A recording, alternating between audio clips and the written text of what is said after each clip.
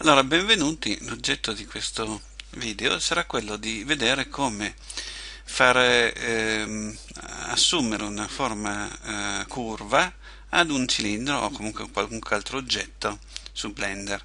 L'esempio che faremo sarà su uno sculpted, uno sculpted generato dalla libreria Primstar 2 di Gaia Clari e in tal caso sapete che si può usare il Blender 2.61 e sarà l'oggetto di questo video. Si potrà anche usare un Blender più vecchio, Blender 2.59 con il plugin gratuito di Alb. Ok, allora partiamo. Qui noi abbiamo uh, un, con il 2.61 vi farò vedere anche i tasti premuti perché c'è un add-on, un plugin che consente di vedere quali tasti sono premuti facendo start display qui adesso dovreste vedere tasto sinistro e così via tutto quello che io premo. Comunque per cominciare eh, cancelliamo il nostro cubo di default quindi lo selezioniamo facciamo cancel del e poi clicchiamo su delete e poi inseriamo al centro quando al centro facciamo un bel shift C per inserire il cursore esattamente al nostro centro shift A inseriamo una UV shape corrispondente agli oggetti sculpted di Gaia, Domino e o la versione gratuita e mettiamo un cilindro. Ora, il cilindro, prima di fare qualunque cosa, dobbiamo accertarci che abbia le caratteristiche giuste per poter essere piegato. Per, eh, di default, eh, i sculpted in particolare nascono con 32 anelli. Se volete fare delle cose molto semplici bastano, ma se volete piegarlo in maniera un pochino più eh, complesso, occorre allungare, aggiungere il numero di anelli. Visto che useremo un, un modificatore già che curva in maniera graduale, possiamo togliere il modificatore di default che mettono gli strumenti di Primstar. Quindi togliamo, mettiamo a livello 1 il subsurf, quindi non c'è più il subsurf, e impostiamo eh, il numero di facce orizzontale a eh, 16 e il numero di facce verticali a 64. Ricordiamo che il prodotto deve essere 1024, in questo modo noi avremo una struttura eh, a 16, anzi possiamo anche vederla, nel senso che, senso che se andiamo in edit di questo strumento vedete che poi ci mettiamo un pochino vicino, vedete che c'ha 32 anelli, mentre c'ha 16 mm, praticamente punti lungo ogni anello. E questo è il senso di, della selezione precedente. Cerchiamo di vedere col tastino numerico, quindi vediamo di fronte il nostro, il nostro cilindro. 1, togliamo la visione prospettica che ci dà di solito fastidio, premendo 5 del tastierino numerico ci mettiamo in modo tale da poterlo vedere con shift e muovendo con la rotellina numerica con la rotellina del mouse. Dopodiché eh, visto che la deformazione eh, a curva funziona di default lungo l'asse X ci allineiamo in anticipo il nostro cilindro lungo l'asse X che è questo rosso. Quindi dobbiamo fare R e ruotare il cilindro di 90 gradi lungo l'asse Y perché è quello ortogonale allo schermo quindi R y. 90 ok? E a questo punto allarghiamo lungo l'asse x in modo tale da formare una sorta di sigaretta. Quindi facciamo s x e allunghiamo. Vedete che si vedono chiaramente le suddivisioni su, su cui andremo adesso a operare. Allora a questo punto se vogliamo curvare questo cilindro lungo una curva dobbiamo avere la curva per averlo dobbiamo andare in Object Mode e introdurre con Shift A una, curva appunto. Ora io precedentemente avevo fatto vedere una curva di Bezier, ma le curve di Bezier sono un po' scomode da gestire. Preferibile per i scopi comuni usare una NURBS curve, che è molto molto più semplice e dà risultati migliori. Quindi prendiamo una NURBS curve, adesso poi vedremo come è fatta, Ora la curva di NURB è dentro la nostra sigaretta, per vederla dobbiamo andare magari in Z e vedete che è, eh, è presente però è piatta, praticamente per vederla dovremmo vederla dall'alto. Questo vuol dire che questa curva dovrebbe essere ruotata in 90 gradi in modo tale da essere allineata con la visione frontale. quindi dobbiamo ruotare 90 gradi lungo l'asse x quindi facciamo avendola selezionata facciamo r x 90 e per vedere se abbiamo fatto la cosa giusta andiamo sulla visione frontale 1 e vediamo che effettivamente la curva è allineata lungo, lungo il nostro cilindro.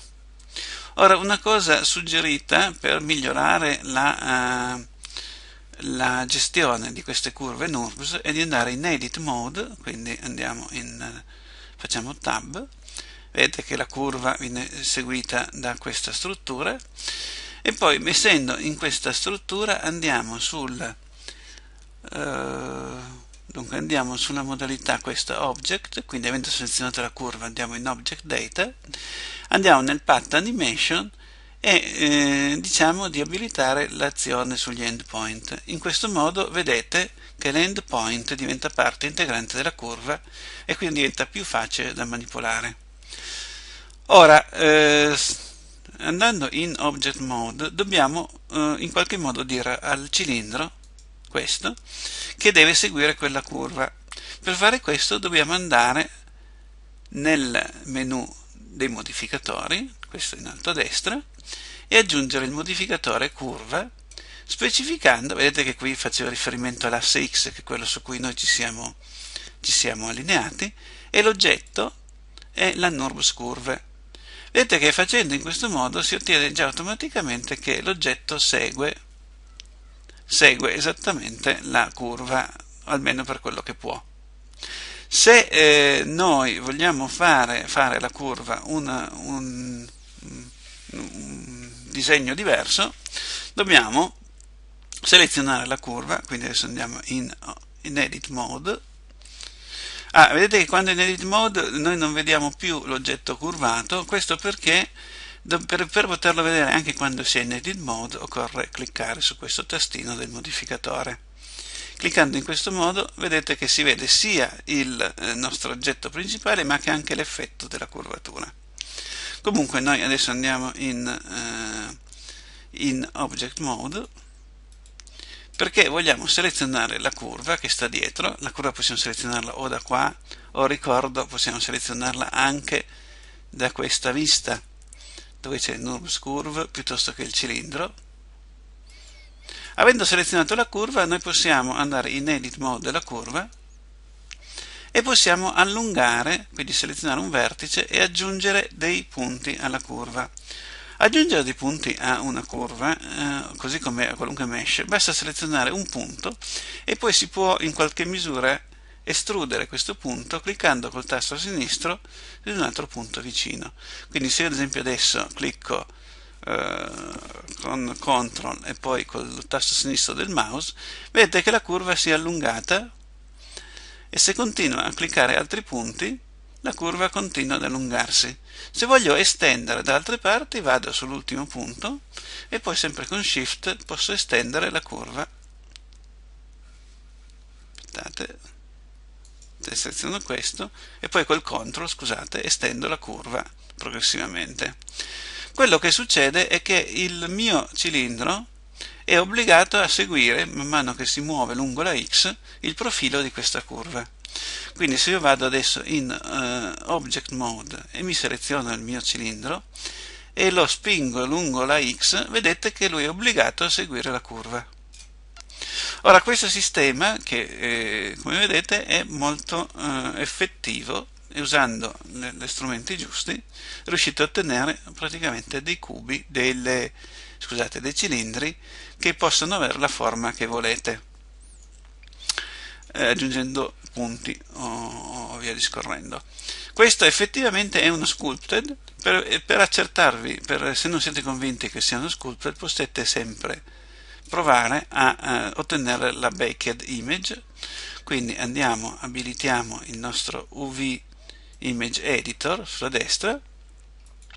E poi eh, eh, avendo selezionato appunto il nostro oggetto qua cerchiamo di fare il, il backing dell'immagine. Allora il backing dell'immagine varia da, eh, da Primstar a Primstar. Diciamo che tendenzialmente potrebbe essere qua Bake Sculpt Maps. Però su AlpSalgar probabilmente lo trovate o sotto Object o sotto la Image. Quindi facendo Bake Sculpt Maps vi presenta questo menu, facendo OK viene eseguita la Sculpted Map. Per vederla dovete cercarla nell'elenco ed eccola. Vedete che avendola selezionata 16 x 64 è venuta leggermente oblunga. Se, eh, se, volete essere sicuri che questa sculpted map rappresenti effettivamente questo tubo, potete fare una sorta di preview in Blender facendo image, import as sculpti e viene praticamente importato una copia di quell'oggetto come se fosse uno sculpti e vedete che effettivamente è lui. Quindi questo è l'effetto che avreste mettendolo in Second Life. Um, torniamo un attimo al nostro cancelliamo il nostro oggetto, questo cylinder 001 e torniamo sul nostro oggetto di partenza. A questo oggetto di partenza, vedete, dipende dalla curva. La curva può essere modificata anche in fase d'opera. Quindi se io vado a selezionare la mia NURBS curve, che era sottostante, magari vado in Z per vederla, vado in Edit Mode, posso liberamente prendere i punti della curva e continuare ad alterare la curva. Attenzione a non fargli fare troppi spigoli perché questi risulteranno con un brutto effetto, quindi eh, purtroppo dovete fare in modo tale che gli spigoli non vengano diciamo troppo. Comunque diciamo che avendo una, uh, un'immagine di sfondo opportuna si può far seguire si può fare in modo tale da seguire qualunque tipo di curva. Ora, prima di lasciare la curvatura, eh, vediamo un ulteriore esempio di curva particolare, notevole, che è la curva rotonda. Se voi volete fare in modo tale che eh, il vostro cilindro, eh, invece di andare lungo una curva, segui esattamente una curvatura eh, scusate, sferica, circolare anzi, allora cosa dobbiamo fare? Dobbiamo andare sul cilindro, anzi no, ci costruiamo un... Ehm, andiamo sulla curva così, andiamo in eh, Object Mode e poi aggiungiamo un NURBS Circle. Il NURBS Circle, analogamente, per poter avere effetto, deve essere, eh, deve essere girato, ruotato in modo tale che sia parallelo alla modalità in cui noi vogliamo applicarlo.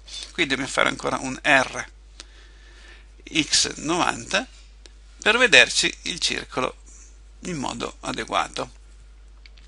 Eh, ora, se noi vogliamo fare in modo tale che il nostro cilindro segua questo circolo, è sufficiente selezionare il cilindro, andare nel, nell'elenco dei modificatori che abbiamo visto qua e dirgli che invece di seguire la curva NURVS segue la curva circolo.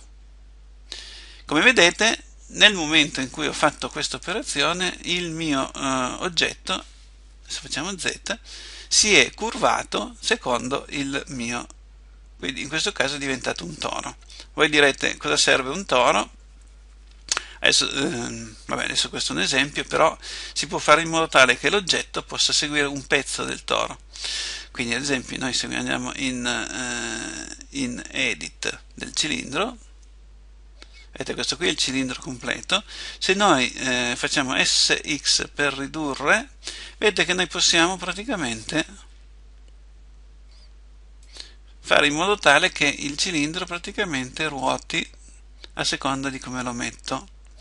Questa caratteristica che la, l'aspetto del cilindro dipende da come lo muovo diventerà molto importante quando poi faremo le animazioni. Quando si faranno le animazioni, a questo punto l'unica cosa, accertatevi soltanto che lungo l'asse X se lo volete fare, se volete curvare qualcosa in modo cilindrico, accertatevi soltanto di chiuderlo senza troppo, troppa sovrapposizione. Credo che questi due esempi siano abbastanza interessanti per capire eh, cosa si può fare con il, il modificatore curva. Ricordatevi soltanto di usare i NURBS curve, i NURBS circle e di seguire attentamente gli allineamenti richiesti. Per questa lezione è tutto, vi saluto.